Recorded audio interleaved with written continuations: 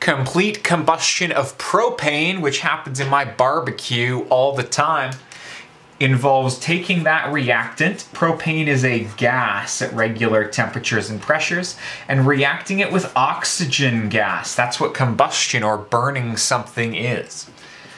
When you do that, you get the common oxides of these two elements. The common oxide of carbon is carbon dioxide. The common oxide of hydrogen is H2O or water.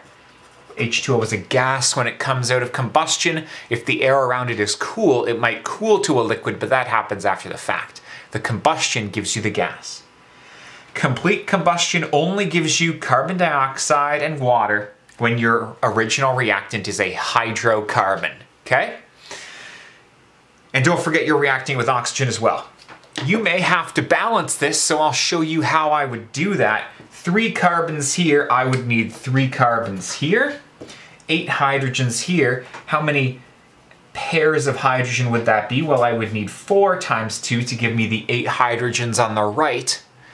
Now, how many oxygens do I have? I have three times two is six here, and four, which makes 10 total.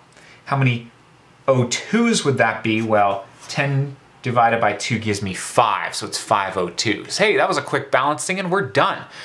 Propane combusts completely if you have enough oxygen to give you carbon dioxide and water. All the complete combustions are this easy. It has to say complete, otherwise you might make something like carbon monoxide or soot or smoke or something, I don't know. Complete combustion is Dunzo McGrunzo. Best of luck.